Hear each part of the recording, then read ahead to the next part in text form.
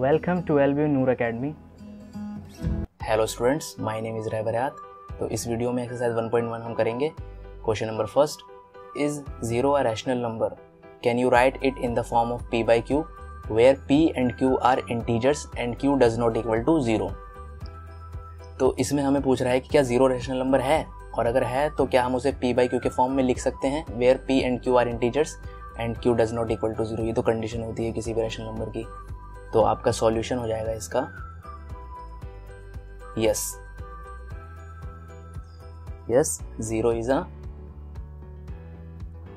zero is a rational number कैसे हो जाएगा? मैं आपको एग्जांपल दिखाता हूँ कि हम ज़ीरो बाई वन लिख सकते हैं, क्योंकि इसकी वैल्यू क्या आएगी? ज़ीरो ही आएगी। ज़ीरो बाई टू लिख सकते हैं। ज़ीरो बाई थ्री लिख सकते हैं। कुछ भी डिनोमिनेटर में कोई भी वैल्यू हो 40 हो 50 हो 55 हो, कुछ भी हो, कोई भी रैंडम वैल्यू हो डिनोमिनेटर में, वो हमारी रैशनल नंबर हो जाएगी, क्योंकि उसका आंसर जो आएगा वो ज़ीरो होगा। बस डिनोमिनेटर में ज़ीरो नहीं होना चाहिए। ऊपर ज़ीरो होगा तो चलेगा। तो yes zero is a rational number second question की तरफ़ पढ़ते हैं। Question number two find six rational numbers between three and four तो हमें सिक्स रैशनल नंबर निकालने हैं। किसके बीच में? थ्री एंड फोर के बीच में। तो किसी भी दो नंबर के बीच में हम इनफाइनाइट रैशनल नंबर लिख सकते हैं। कितने लिख सकते हैं? Infinite infinite rational number we can write infinite rational number होते हैं इनफाइनाइट रैशनल नंबर तो हमें कोई भी छह लिखने हैं। तो जितना भी हमें लिखना हो, उससे हम एक वैल्यू बढ़ा देंगे। कैसे करेंगे सॉल्व ये आपका थ्री हो गया। तो डिनोमिनेटर में तो वन होगा ही। उससे एक वैल्यू बढ़ा के मतलब सेवन से आप इसे मल्टीप्लाई भी कर दें और सेवन से आप इसे डिवाइड भी कर दें। तो क्या आंसर आ जाएगा? थ्री सेवन ज़ा ट्वेंटी वन और वन सेवन ज़ा सेवन ऐसे ही फोर के केस में। फोर के नीचे क्या है? डिनोमिनेटर में वन इसको भी आप सेम नंबर से सेवन से मल्टीप्लाई एंड सेवन से डिवाइड तो इसका आंसर क्या आ जाएगा? फोर सेवन ज़ा ट्वेंटी एट और वन सेवन ज़ा सेवन तो ये देखा आपने ट्वेंटी वन बाई सेवन और ट्वेंटी एट बाई सेवन दोनों में डिनोमिनेटर जो होगा वो सेम होगा। ये आपको चेक करना है। आप कोई सा भी मेथड लगाएँ, लेकिन डिनोमिनेटर जो होगा वो सेम होगा। तो इसका आंसर क्या हो जाएगा? इसके बीच में आप लिख लीजिए। इसके बीच में क्या हो जाएगा? Twenty two by seven, twenty two, twenty three by seven, twenty four by seven, twenty five by seven, twenty six by seven and twenty seven by seven. तो ये आपके सेवन, सिक्स रैशनल नंबर हो गए three and four के बीच में। आप इसके अलावा भी कर सकते हैं। ये आपका एन के बुक का सॉल्यूशन है तो मैंने इसीलिए आपको ये एग्जांपल शो करके दिखाया। आप ऊपर एट से भी सिक्स से आप ऊपर कोई से भी नंबर से आप मल्टीप्लाई करके उतने नंबर लिख सकते हैं। आपको मैं एक एग्जांपल शो करके भी दिखा देता हूँ। आपका अगर थ्री बाई वन के केस में अगर हम एट से कर दें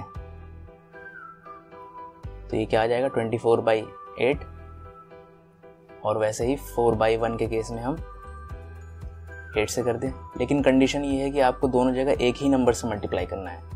किस नंबर से? एक ही नंबर से। तो ये थर्टी टू हो जाएगा। और ये यहाँ पे भी देखिए डिनोमिनेटर में एट यहाँ पे भी एट अब इसके अंडर में हम लिख सकते हैं। लिख सकते हैं हम इसके अंडर में। वैल्यूज़ अपनी, जो भी आपकी वैल्यूज़ आ जाएगी। Twenty five by eight twenty six by eight and up to thirty one by eight तो ये आपका आंसर हो गया एन का। आप कोई सा भी मेथड से आपको, कोई सा भी अगर आप आंसर निकालेंगे तो आपका सही ही होगा। हमने यहाँ पे सेवन इसलिए लिया था क्योंकि हमें सिक्स रैशनल नंबर लिखने थे। अब थर्ड क्वेश्चन की तरफ़ बढ़ते हैं हम।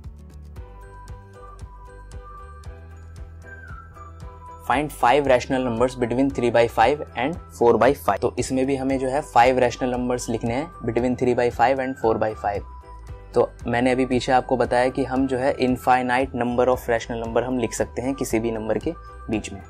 तो हमें तो सिर्फ़ फाइव लिखना है। तो फाइव लिख लेते हैं। तो अभी मैंने आपको बताया क्या करना है। जो भी हो आपकी वैल्यू दे रखी हो, जिसके बीच में लिखना है। और जितनी भी निकालनी हो, उससे एक बढ़ाकर आप मल्टीप्लाई कर दे और डिवाइड कर दे। ठीक है? तो आंसर क्या आ जाएगा? Three six eighteen and five six thirty four by five is multiplied by six by six and ये आंसर हो जाएगा twenty four four six twenty four and five six thirty. तो इसमें भी आपने देखा डिनोमिनेटर सेम है तो इसके बीच में हम वैल्यूज़ लिख लेंगे। क्या हो जाएगी हमारी फाइव वैल्यूज़ तो ये आपकी ब्रैकेट में मैं लिख देता हूँ nineteen by thirty twenty by thirty twenty one by thirty twenty two by thirty twenty three by thirty one two three and five ये आपके फाइव नंबर्स हो गए। तो इसमें भी आप पीछे जो मैंने बताया कि आप फाइव से बड़ा कोई सा भी नंबर लेके आप रैशनल नंबर निकाल सकते हैं। तो पीछे तो मैंने आपको डिस्कस कर ही दिया है कि आप इसके अलावा भी रैशनल नंबर निकाल सकते हैं। Question number four state whether the following statements are true और false give reason for your answer तो हमें इसमें जो है ट्रू और फॉल्स निकालने हैं कि ये जो आपकी स्टेटमेंट दी है, ये ट्रू है या फॉल्स है। और जो भी आपका आंसर होगा, उसका रीजन भी हमें जो है वो बताना है। फ़र्स्ट पार्ट जो है इसका every natural number is a whole number तो नेचुरल नंबर क्या होते हैं? नेचुरल नंबर को एन से डिनोट करते हैं। नेचुरल नंबर आपके one two three four and so on और होल नंबर क्या होते हैं आपके? होल नंबर ज़ीरो से स्टार्ट होते हैं। तो देखिए every natural number is a whole number तो आपके जितने भी नेचुरल नंबर है, वो होल नंबर में इंक्लूड है? इंक्लूड है? तो इसका आंसर क्या हो जाएगा? ट्रू हो जाएगा। ट्रू क्यों हो जाएगा? क्योंकि आपके जितने भी नेचुरल नंबर है, वो होल नंबर में इंक्लूड होते हैं। ठीक है? Second every integer is a whole number तो क्या सारे इंटीजर्स होल नंबर होते हैं क्या? इंटीजर्स का मतलब होता है नेगेटिव एंड पॉजिटिव दोनों नेचुरल नंबर्स दोनों वैल्यूज़ ओके लेकिन आपका होल नंबर जो होता है, वो होल नंबर आपका हमेशा पॉजिटिव में होता है। तो इंटीजर्स में तो आपका नेगेटिव भी आ जाता है। तो ये जो होगा, आपका फॉल्स होगा। क्यों फॉल्स होगा, समझ में आ गया आपको? क्योंकि इसमें नेगेटिव भी इंक्लूड होगा, लेकिन होल नंबर में आपका हम पॉजिटिव वैल्यू लेते हैं। तो ये तो स्टेटमेंट हमारी फॉल्स हो गई। थर्ड तो every rational number is a whole number तो ये भी आपका फॉल्स हो जाएगा। आपका जितना भी रैशनल नंबर होता है, वो होल नंबर होता है कि नहीं होता? तो होल रैशनल नंबर क्या होता है? आपका फ्रैक्शन में होता है। One by two two by three जब आप इसको सॉल्व करेंगे तो जब आप इसको सॉल्व करेंगे तो आपका आंसर आएगा पॉइंट में। इसका 0.5 आ जाएगा आंसर तो ये पॉइंट में आया ना आंसर लेकिन आपका होल नंबर जो होता है, वो हमेशा one two three countable number होता है। तो ये भी आपका स्टेटमेंट जो होगा, वो फॉल्स हो जाएगा। That's all for this video we will meet in next video अगले वीडियो में हम 1.2 एक्सरसाइज करेंगे। ये आपकी क्लास सेकेंड थी।